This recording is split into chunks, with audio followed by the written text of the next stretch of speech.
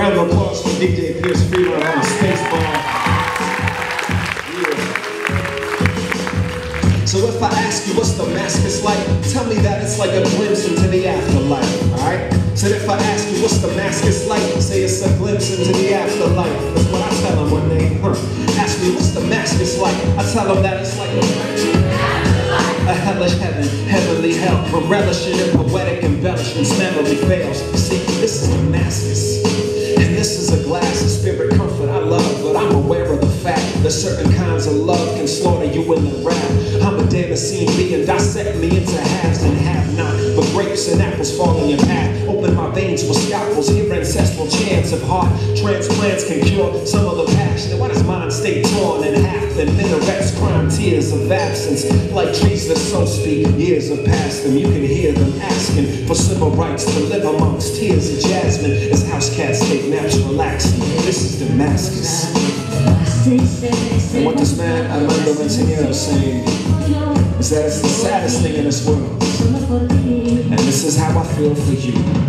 So if I ask you what's Damascus like, you tell me that it's like Right. Said if I ask you what's Damascus like, say it's a glimpse into the afterlife. That's what I tell them one day. Huh. Ask me what's Damascus like, I tell them that it's like a hellish heaven, heavenly hell, when relishing in poetic embellishments never fails. Coffee grinders crackling, childhood reminders back when how could I forget when my reaction to cardamom strong fragrance hit and still finds attraction. As proud fathers wait for a sweet daughter's face, I'm masking my roots, heart, and language are here. How am I supposed to make myself any more clear? Is clarification necessary with love so dear, so much so there was no fear. How many Damascene bracelets were sold for this poetry here? Apologizing to the willow, wondering if my little siblings can hear. My parts been scattered across coast for years. Lanterns on horizons, making satellizing lost layovers to see. It's the most saddest thing in this world. But hey, this is how I feel for you. So if I ask you what's Damascus like, you tell me that it's like a Right. Said if they ask you what's the Damascus like, say it's a glimpse into the afterlife. That's what I tell them one day. Huh. Ask me what's the Damascus like, I tell them that it's like a glimpse into the afterlife. A hellish heaven, heavenly hell, from relishing in poetic embellishments, memory fails. Hmm. We're tossed around the shoreless oceans, only to be hunted down by devils and demonic ghosts. On battle garbage, rapid posing, rapid flows, it's apropos. Till no war is open to them, that's for show. Identity of Arabness resembling a widow, though. Is there no festivus for the rest of his history? Books show what will remain of poetry's originality. If so many a brown nose and lie against they have complete control. How we gonna ever write a verse that's spit with gentle still approach? I wore the burden of my words upon my back until I and shower make the poetry. When it is finally released, the saddest thing in this world, my lady is knowing that we were meant to be from the very start, but that may never be.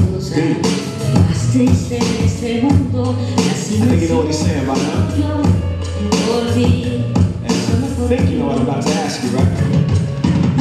Said if I ask you what's the Damascus like, tell me that it's like a Right. Said if they ask you what's the Damascus like, say it's a glimpse into the afterlife. That's why I'm gonna tell someone day. Ask them what's the Damascus like. I tell them that it's like a hellish heaven, heavenly hell, when relishing in poetic embellishments, memory fails. Rest in peace, Nizar Qabbani. This was a translation of Al-Qasida Dimashqiyya, the Damascene poem.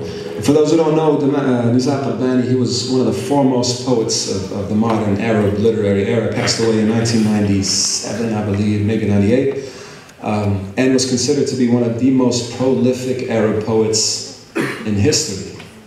And he wrote many different poems. Uh, in fact, his poetry was, was banned in Saudi Arabia for quite some time because he wrote some pretty evocative love poems.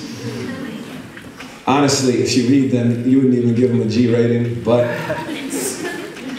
he often spoke about how he felt that love needed to be liberated in the Arab world. And that's what he was trying to do with his poetry. And I know me and Solomon are often talking about how people expect you to be a political rapper and that's all they ever want to hear about. And that's all they ever want to hear from you. But what I try to remind people is, look, people are fighting these revolutions in order to be able to sing love songs. Not to just keep fighting, because that's not what we're about. So try to remember that. And also keep in mind that a revolutionary song is a love song in many ways. So, That said,